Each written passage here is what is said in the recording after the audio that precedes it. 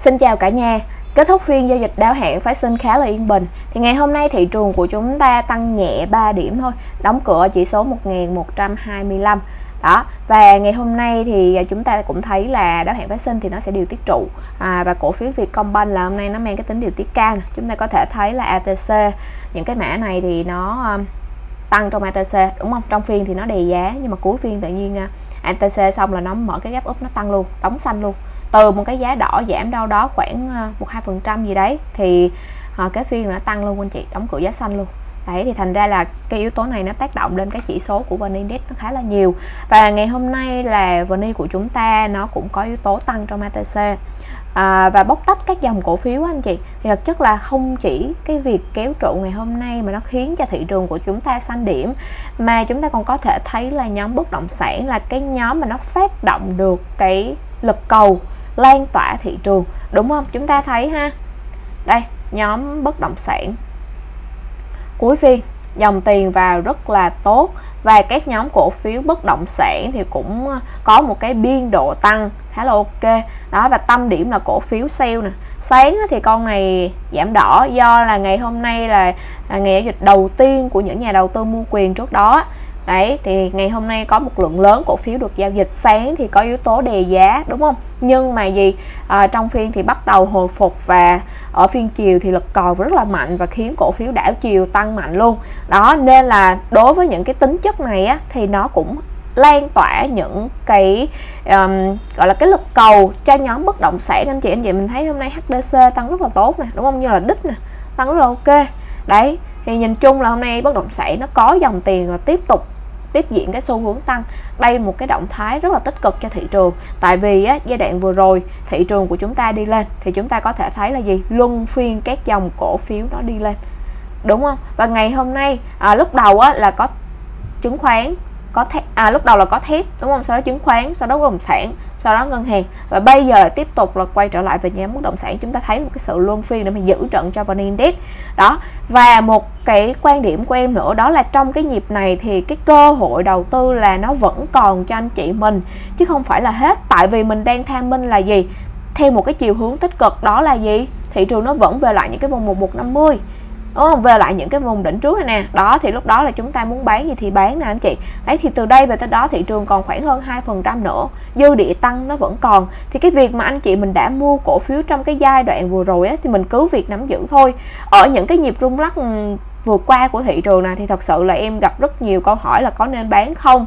Tại vì thấy tự nhiên là uh, sau một cái phiên tăng mạnh mà VN Index nó nó lại giảm liền. Đúng không? Tâm lý mình sẽ bị lo sợ mình sợ thị trường nó buôn tráp anh chị.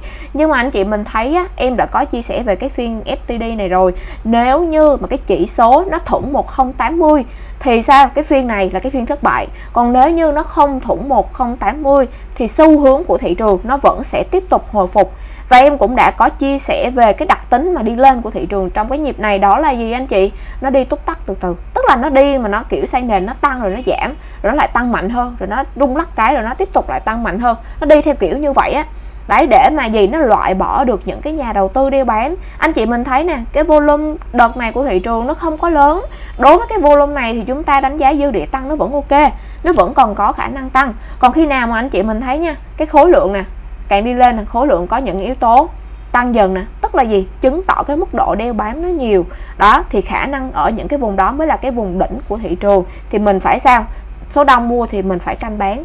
Nó mới ok đúng không? Đó còn ở thời điểm hiện tại thì anh chị mình thấy là ừ, một số anh chị mình có chia sẻ những cái nhịp này là những cái nhịp uh, gọi là dụ cầu của thị trường. Khi mà chúng ta thấy cái yếu tố kéo ATC liên tục ở các phiên gần đây. Nhưng mà thực chất á, anh chị mình phải hiểu là khi mà thị trường nó xác nhận vào một cái nhịp tăng ngắn hoặc là một cái nhịp sóng hồi ngắn á, thì sao? Bên mua nó sẽ mạnh hơn bên bán đó, thì chúng ta sẽ thấy là gì? Ờ trong phiên nó có rung lắc là như vậy, nhưng mà gì? Cuối phiên nó vẫn giữ được cái sắc xanh. Ví dụ như anh chị mình thấy nha, ở cái thời điểm mà thị trường của chúng ta uptrend nè, đó, là là sao? Chúng ta có thể thấy nè. Những cái nhịp đi lên nè, đi kèm với cái nhịp, những nhịp rung lắc nè, đúng không? Nhưng mà giảm không sâu thì sau đó lại tiếp tục tăng mạnh hơn đó cái xu hướng cái xu hướng tăng thường là cái bên mua nó sẽ mạnh hơn bên bán. Thì cái lực mua nó luôn áp đảo bên bán anh chị. Thì thành ra là xu hướng vẫn là một cái xu hướng tăng thôi một cái xu hướng đi lên thôi. Đấy nên là thành ra thường là những cái nhịp mà bị giảm mà đầu phiên anh chị mà giảm không mang cái tính chất tháo á, thì nó tốt. Tại vì chiều cuối phiên nó vẫn có khả năng hồi đúng không? Đó thì em em đánh giá cao những cái nhịp như vậy. Còn cái nhịp mà sáng mà tự nhiên kéo FOMO mà chiều là giảm lại những cái nhịp đó nó không có thơm. Đó nên là anh chị mình phải hiểu ha. Phải phải à, nắm được những cái à, vận động như thế này để mà chúng ta rút kinh nghiệm cho những cái à, giai đoạn đầu tư sắp tới.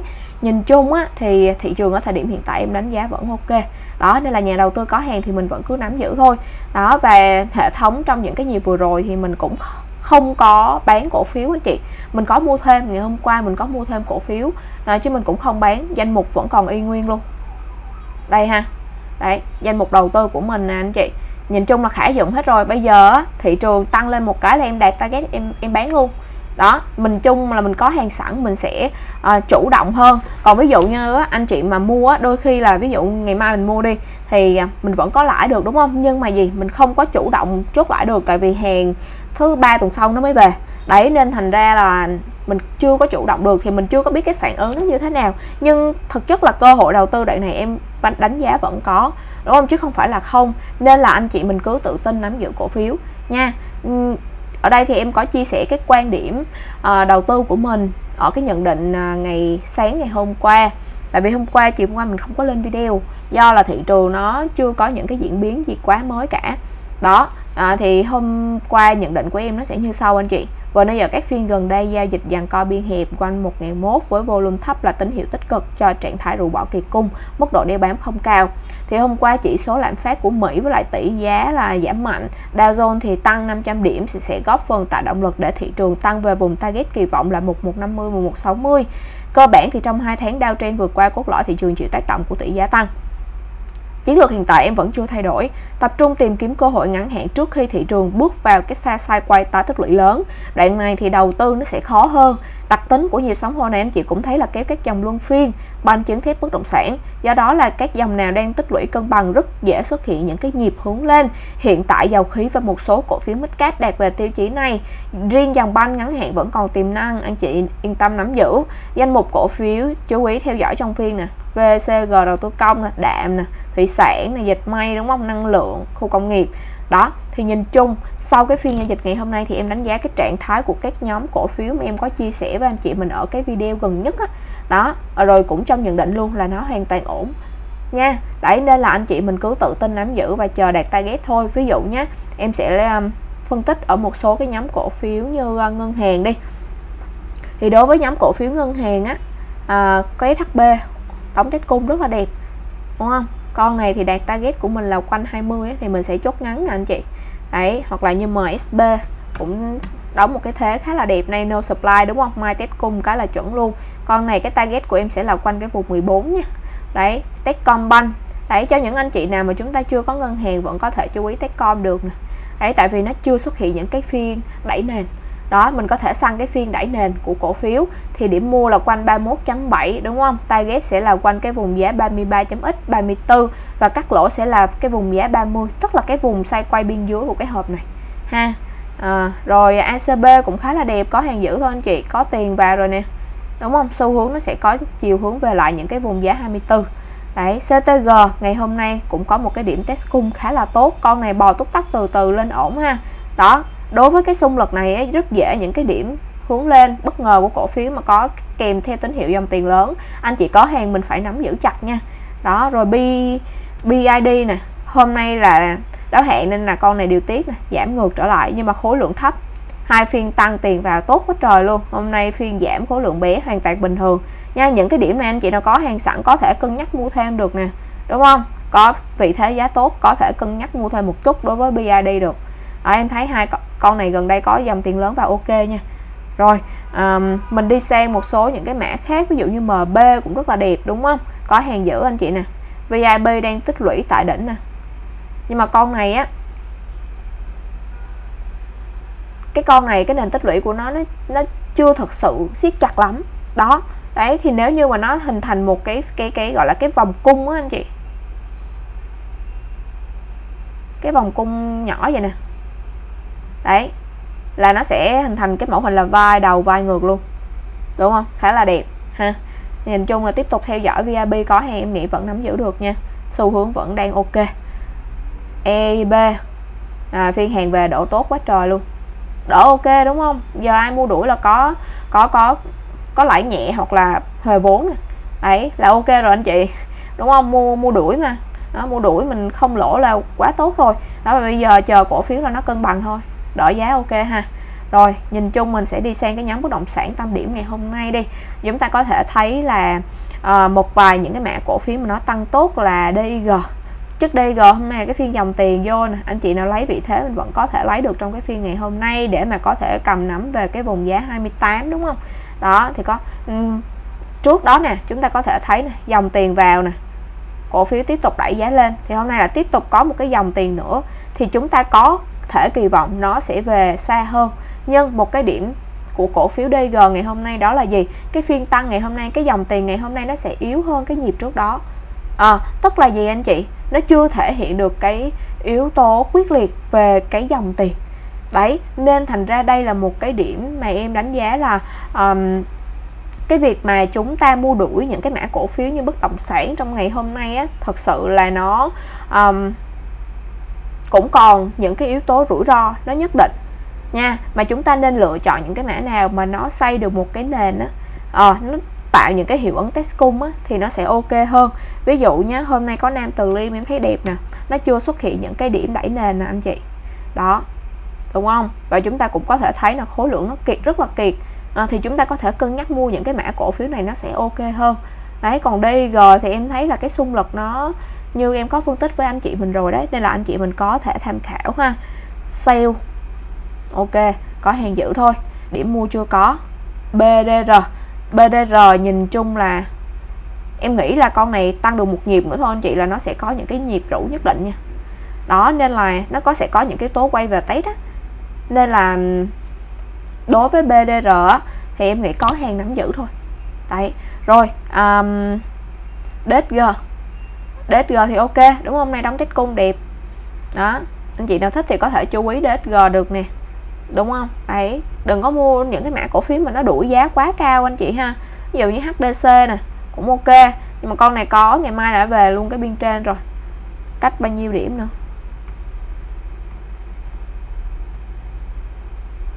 À cũng một cái cây trần đúng không? Đấy thì nhìn chung là hôm nay tăng tốt thì anh chị mình có thể kỳ vọng về nó về được vùng 38 có thể chốt lời ngắn. Đấy. Nam Long ngày hôm nay Nam Long cũng khá là đẹp nè. Tiền vào tích lũy kiệt thanh khoản thì hôm nay cũng cho những cái điểm mua test cung của Nam Long đúng không anh chị? Đó, chú ý những cái mã cổ phiếu này nó ok ha. Nam Long Nam Từ Liêm DG đó nó sẽ ok hơn.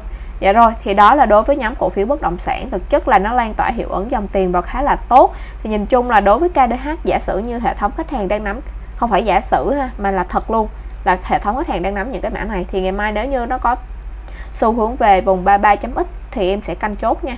Đó, đây là những cái vùng đạt và tiêu chí của em rồi trong đánh ngắn á. Danh mục của mình nè anh chị. Khả dụng hết rồi. Đấy, thành ra là em sẽ tư vấn chốt sớm thôi nếu mà cổ phiếu nó đi đúng cái kỳ vọng của mình nhé. Rồi, nghĩ sang một số cái mã cáp mà ở video gần đây nhất em có chia sẻ với cả nhà. Đúng không? Cái video này nè. Chú ý banh dầu rồi một vài cái mã cổ phiếu mít cáp như là uh, đầu tư công. Đấy đầu tư công thì VCG có VCG HHV đúng không? Tích lũy rất là đẹp. Hôm nay anh chị mình thích cái mã nào á, thì mình có thể giải ngân được nè. Đúng không? Thế nó quá là đẹp đi. Đó, cảm tưởng như ngày mai thị trường xuất hiện tiếp thêm một cái nhịp bùng nổ theo đà luôn á anh chị đúng không? À, ngày hôm nay nha chúng ta có phân bón tăng ok sau một cái nhịp test kiệt cung này kiệt thanh khoản hôm nay có những điểm bay vốt hướng lên. Đẹp không? Đẹp. Đấy em có chia sẻ là cái cái cái um, xu hướng cái dòng tiền á, thường nó sẽ chú ý những cái mã cổ phiếu nào á, mà nó um, có yếu tố cân bằng đúng không? Chúng ta không việc gì phải mua đuổi những cái mã cổ phiếu đang tăng quá mạnh. Ví dụ như anh chị mình mua những cái mã cổ phiếu như DBM à, giả sử đánh ngắn đi thì chúng ta sẽ có một cái biên độ lợi nhuận ngắn đúng không? Còn những cái mã cổ phiếu như thép đi chúng ta mua tại nền thì đến thời điểm hiện tại nó vẫn loanh quanh cái vùng nền thôi nó chưa có những cái yếu tố bất nền tại vì nó là sao anh chị? Đang tích lũy. Thì mình phải xác định được cái pha nào cổ phiếu nó đã đạt về cái trạng thái cân bằng rồi thì mình sẽ tham gia đánh ngắn. Thì mình ăn được một cái cây nổ nó sẽ tối ưu về cái biên độ, độ lợi nhuận hơn. Còn ví dụ như mình mua đuổi á, thì mình phải chờ cổ phiếu nó tích lũy đúng không? Thì mình sẽ mất cái thời gian ngắn để mà chờ cổ phiếu nó tích lũy lại kiểu như vậy á.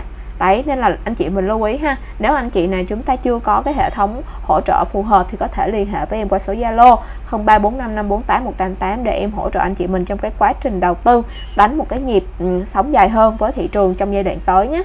Rồi. Nam Kim cũng vậy cũng tích lũy lại đúng không? Dầu khí nè. Dầu khí ngày hôm nay BLC BVD gì đều đóng tết cung hết anh chị ha. Về đỉnh nè BVC về đỉnh nè tái tích lũy kiệt và thanh khoản nè. Đẹp không? Đẹp. Đấy mai thị trường nổ con này dễ nổ lên ha.